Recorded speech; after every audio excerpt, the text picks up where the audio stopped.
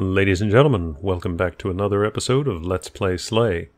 Coming off the coattails of yesterday's success in Do 2, I'm going to go ahead and try a hard level today. Today we'll be playing Fanou. Fanou appears to be very indistinct. Other than this large territory peninsula in the northeast and a smaller peninsula in the north, it is an extremely square level. That should make this an interesting play. I do see a potential opportunity. Oh, good, we have two men in here. So a potential opportunity to actually gain this territory to the north. But that may take a minute before we can get out there, and that yellow and dark brown are both going to have plenty of territory in that peninsula.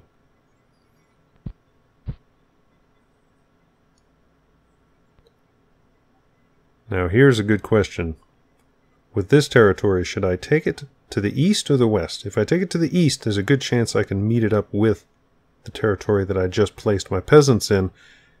However, if I secure the west, which I think I'm going to go ahead and do, I see a greater opportunity there in having my back against the sea, which is one of the biggest strategies you can employ in this game. Looks like we'll have a nice big territory here as well. Yeah, that's pretty huge.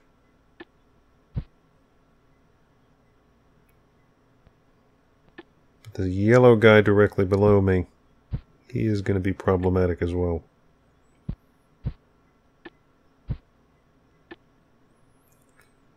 So right off the bat, we've already got some large territories, but I'm sure we're not going to be the only ones. Oh, look at that. We've already been split apart.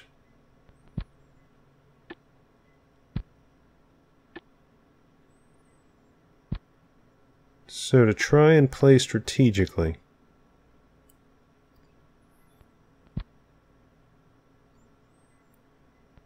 I am definitely going to be focusing as much of my potential energy as possible on making sure that none of the other players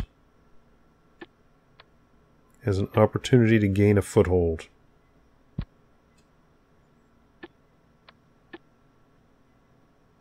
I'm going to take that back. I'm going to go ahead and take these territories here. To go right for the jugular. Try and secure that small peninsula there. So that guy's got nowhere to go, and that guy's got nowhere to go. Course, we have this guy building a castle. And of course, there was no way for us to connect those two, these two territories here. I see potential problems here with these dark brown territories. So let's make sure they get split up. Do see opportunities here to grow.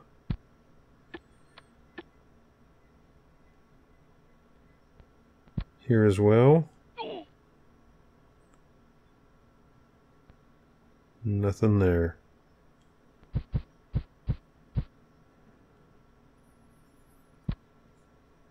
That strategy did not work as I was hoping. That could be a bad sign. We could be off to a another ugly play today.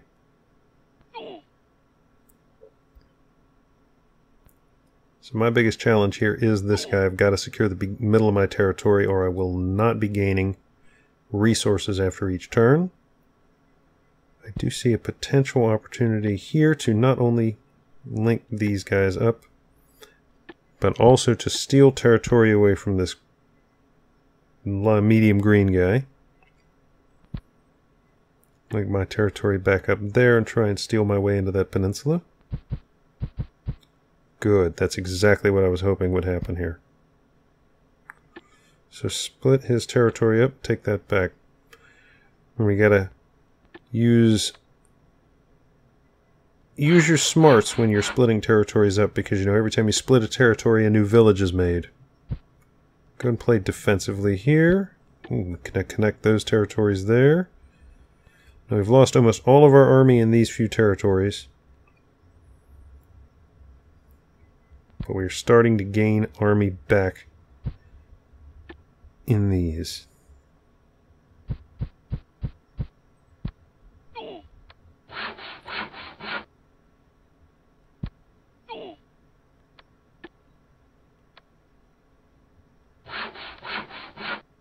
Trees, of course, always a problem.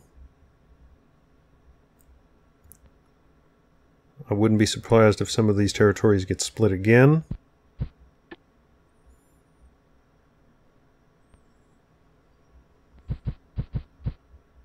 Just like that.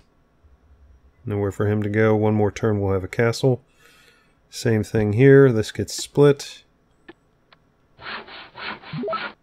But we split him right back. Use your castle to your advantage. Remember, it's going to take a knight to destroy that peasant now, simply because he's standing next to a castle.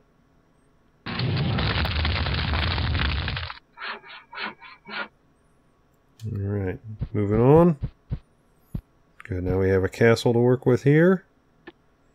That's going to take a minute till we get another peasant.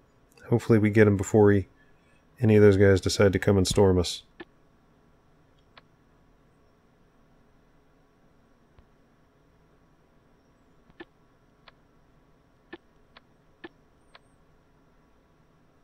Now we have linked territory here, which is very good. Put a castle up in there to defend our northern territory. Go ahead and try and take this small defensible peninsula all the way in the northwest. And that's it for now. So good news, we still have our castle. Bad news, it's about all we got there, right over there. Here, we have an opportunity to really irritate Brown, but that's about all we're going to do is irritate him.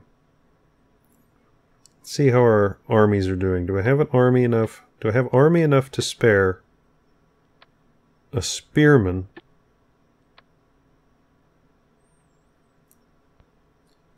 I think strategically I must. Just like that.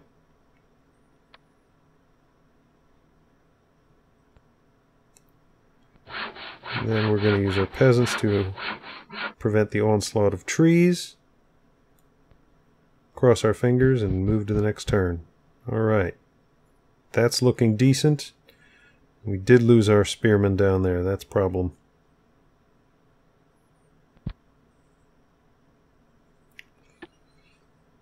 So we'll see what we can take from light brown here. Continue our onslaught on the forest.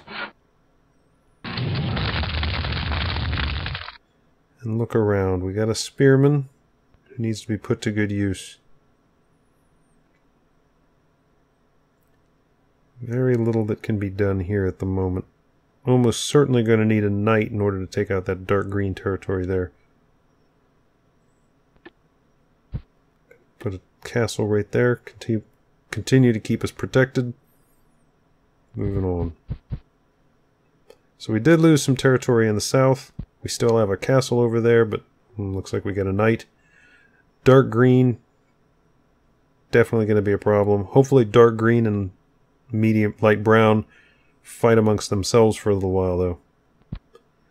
Now we got 21 units per turn now, which is extremely good. We now have almost complete control of this northern, small as it is, northern peninsula. That is extremely good. Now I'm going to take a step back because I want to have at least one spearman to defend that area there. Alright, he's coming from the south. Extra 17 units.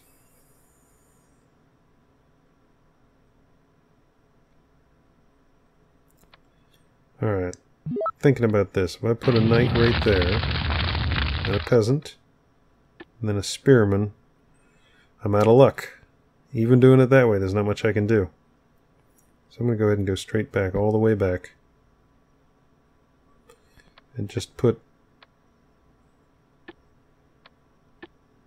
a spearman there to protect the territory.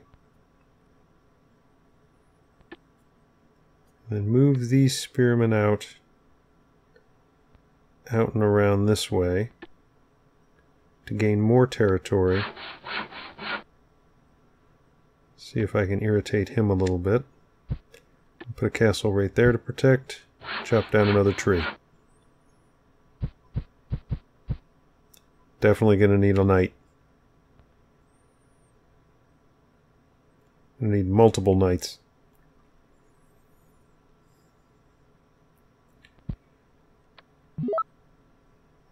So with a knight, I can move there to defend. And we'll be ready on the next turn to take out that castle. With these spearmen, I can minimize his territory there. I have an opportunity to put another castle in. I think I'll do that right there. Continue to earn more territory there.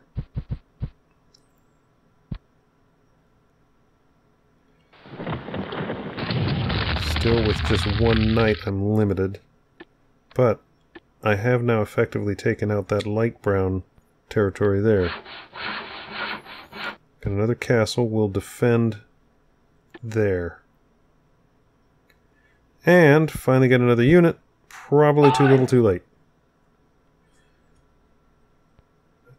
I realize now I have really been focusing only on my own territory, not paying any attention to anything else that's going on. That is a problem. But I don't see any other way around it.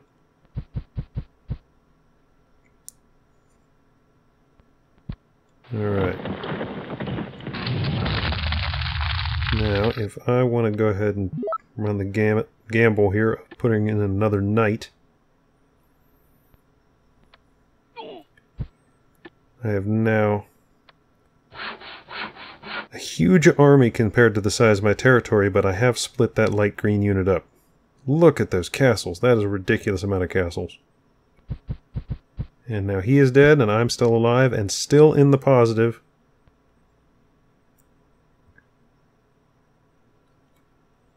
So I have got to do something about these guys coming on the south. So that's what I'm going to do there.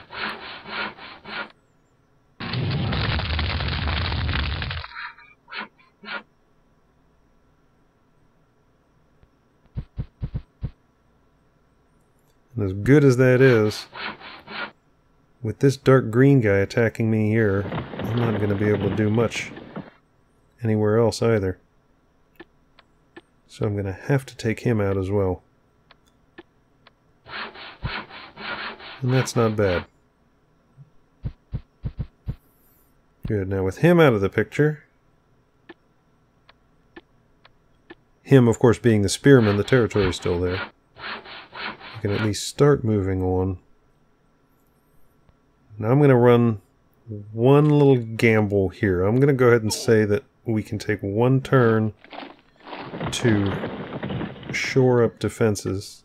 That was a mistake. Spearman The peasant there, and then the spearman there. And then we're going to need to start moving to the east.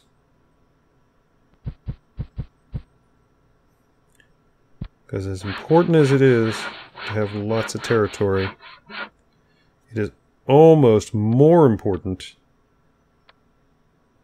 to ensure that your enemy has very little territory.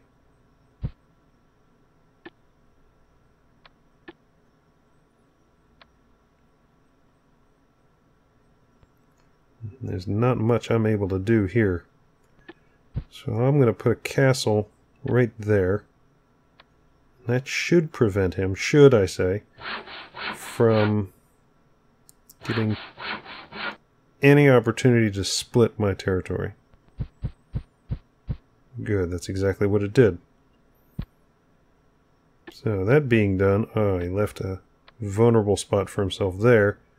Now it is almost definitely time. Keep that territory split. I'm watching my western front as well as my eastern. Trees always a problem. Common theme in these last few episodes we've had here.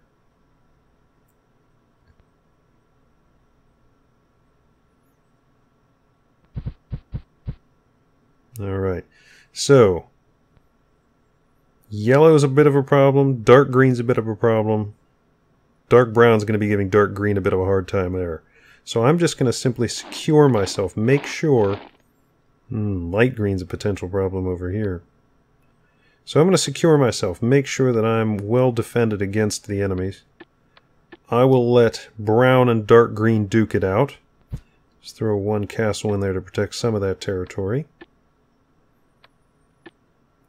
And then make sure that I've got good resources and I don't find myself wishing I had deforested before it was too late.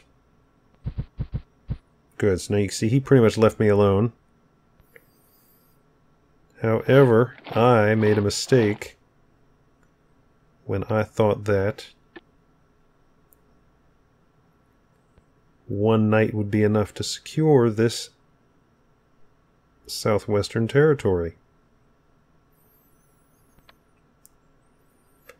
And unfortunately, where we stand now, one knight is not enough either. So I have to ask myself, do I want to throw three knights into my mix?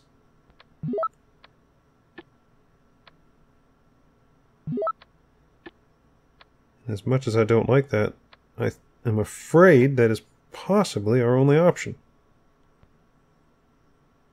Just to be safe, I'm going to put a castle right there.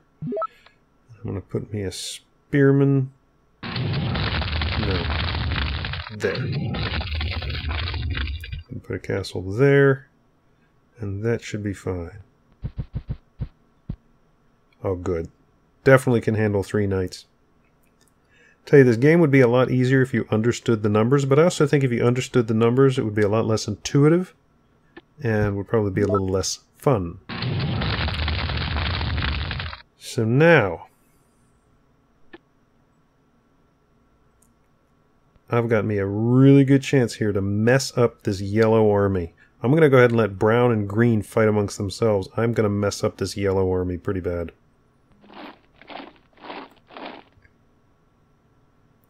So I'm going to need to spend one knight to get there. And I'm going to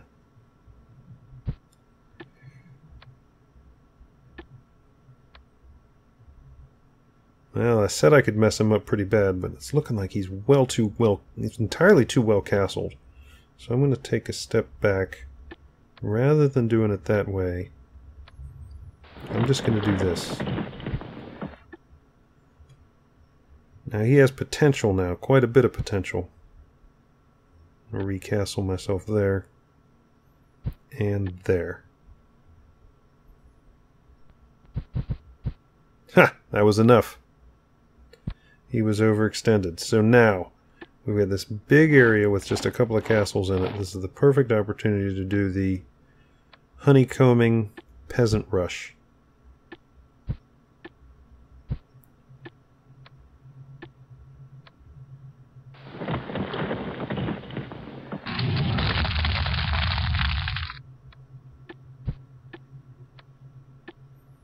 Now that leaves a little more open area than I'd like, but they're all spearmen defended. He'd need a knight, and he's not going to have enough to get a knight.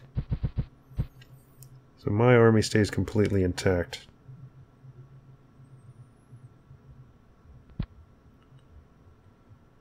While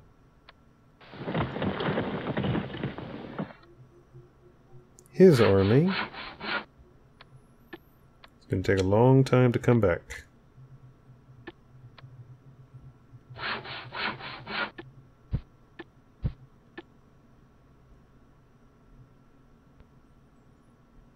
And those two knights in that green territory right there, no way they're going to make it. And now you can see that the dark brown unit or dark brown team has made a horrible mistake in opening themselves up like that. They are gone now.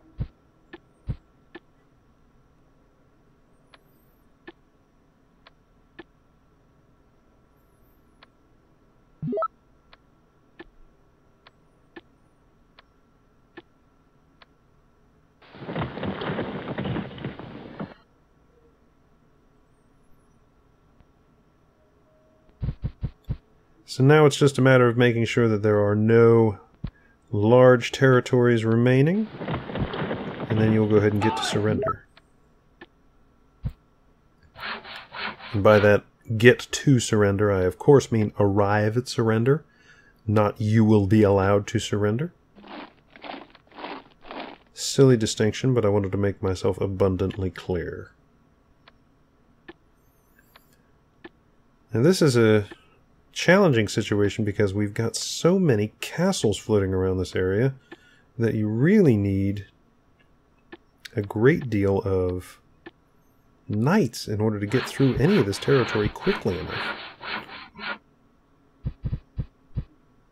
Oh. Left myself vulnerable because I was overconfident. Lost some army there. That's a problem. A very, very small problem, but a problem nonetheless.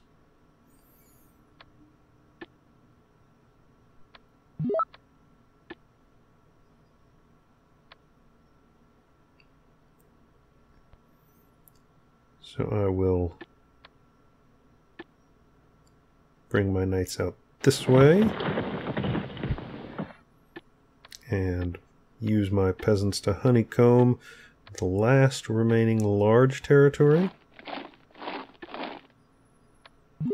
Let's see if I can even bring some of these troops around to double back on themselves. And I anticipate surrender when I hit this button, and I was mistaken. But the army remains intact, so it'll only be a matter of another turn or two.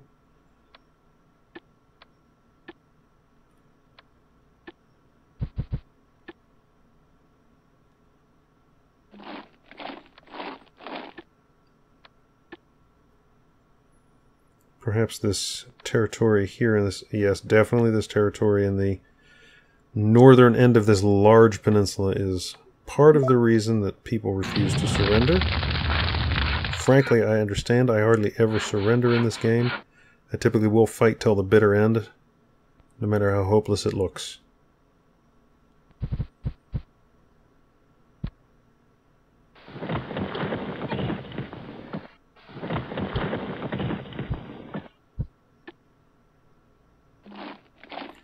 Now we have a knight coming down this way, and he definitely has the resources to spend on that. However, he left himself vulnerable. Spearmen easily cut off his supply lines.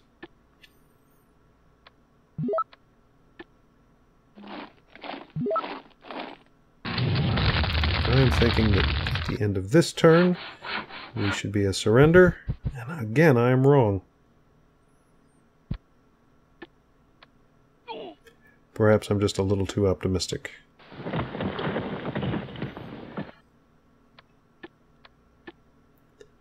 A simple mopping up action.